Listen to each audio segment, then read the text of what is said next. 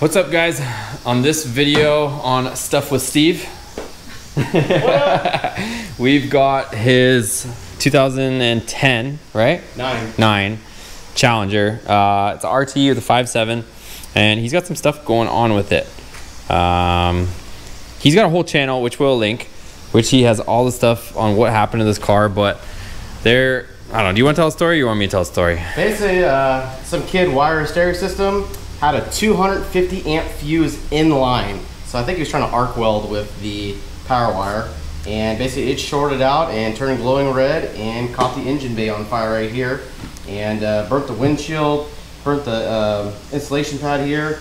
The, basically the whole engine harness, a couple coils got burnt. Uh, we have a pile of parts over there. So he's replaced most of everything over here. And here is what used to be over there. So you can see it's just all burnt wiring. So that was all from like an aftermarket stereo that just short circuited stuff. I just changed this little guy out for him, but this whole plug was melted as well.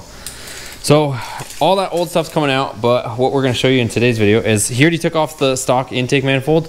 We've got this, which is probably why everybody is watching this video today. So what do we got? What's the official name again? The Holley Sniper Race Intake Manifold. So what makes it race, he was saying, is you can take the lid off. So if you wanted to get in there, you could probably do some porting or something like that, right? Uh, you could probably just get in and clean it if you need to and service it. So we are gonna slap this thing on. It's got the fuel rails on it. It's got the adapter that goes back into the stock um, fuel line, so you can use your stock fuel line on it. So he's got that Earl's adapter on that side, The Earl's Quick Disconnect.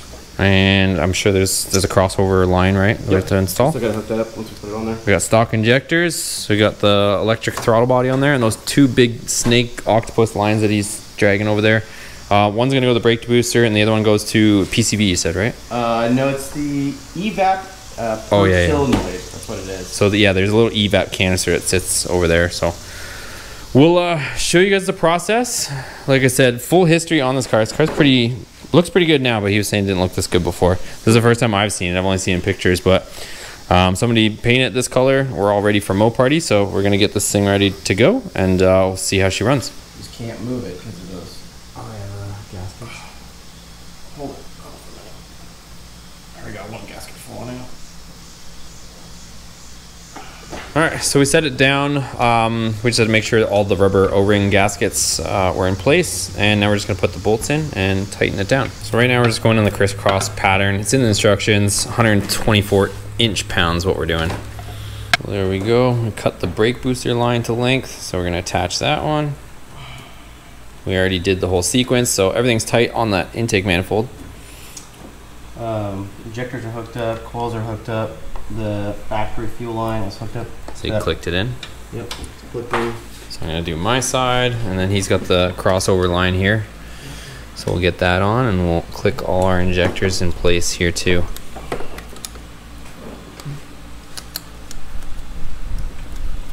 So Steve's throwing on the Delta Force, and we just tightened up the fuel line as well. So, and everything, as you can see, the intake bolts right up. So we didn't have to move anything or do anything. So I'm gonna hook all these back up. Let's see here. sensor. Put one down here. And then we're gonna go from here to here now. Make a line. And we should be ready to rock and roll. Heck yeah. Should is a keyword. All right, everything is connected. Um, we're gonna check for fuel pressure in a second, and we made sure to reconnect our map sensor on the back, and we should be good to go. You're not gonna start it, right? Yeah. Checking for a fuel pressure. You had to confident. No, no leaks. Want to check the other side? Yeah, you can cycle it. Nothing. I don't know, cycle it a few times. I don't see anything. I think we're all good. No fuel leaks.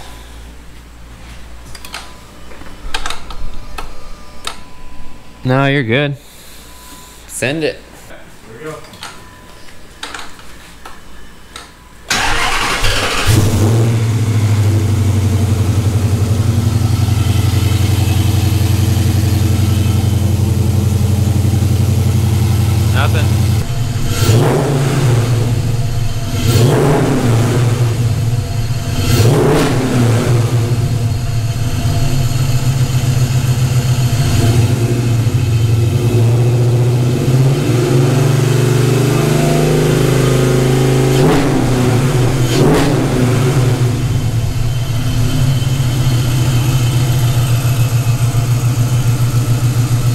So she's running good. We're gonna go for a little test spin and uh, see how she feels.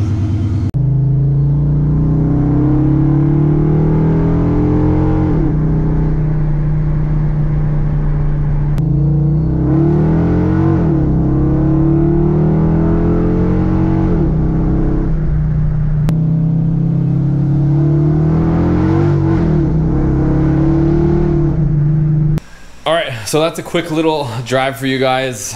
I think it made a huge difference. What do you think, Steve? Thumbs up. Two thumbs ups. So we've also been messing with the tune a little bit too. Uh, raise the shift points and the RPM and stuff like that. Steve's gonna try and put some race gas in it this weekend, so we'll see what happens.